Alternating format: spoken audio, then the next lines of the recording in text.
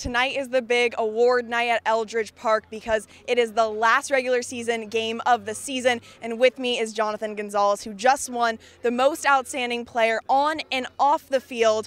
And you have been to countless clinics. How special is it really teaching these kids the game of baseball and just life itself? Yeah, I thought it'd be kind of stressful at first, but I really enjoyed being out there with the kids. And like when I was in their shoes, uh, all I wanted was like a, a college or a pro player to help me out. And that's what I wanted to give those kids.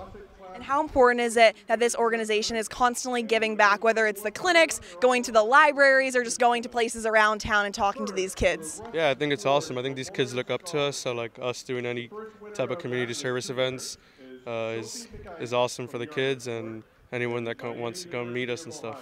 And now that's off the field, but on the field, you have been one of the most dominant pitchers for this team all season long. You came in as a reliever. Now you're one of the most reliable starters. How was that when Kelly Nicholson told you, hey, we want you to be a starter for this squad?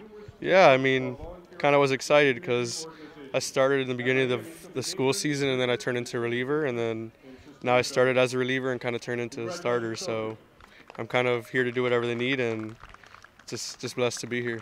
And how awesome is it? The pitching staff in Orleans is known year after year to have some of the best talent. How cool is it to be a part of that incredible talent? Yeah, it's awesome. I mean, even some Stetson guys uh, came here and are playing pro ball now, so it's awesome to be here.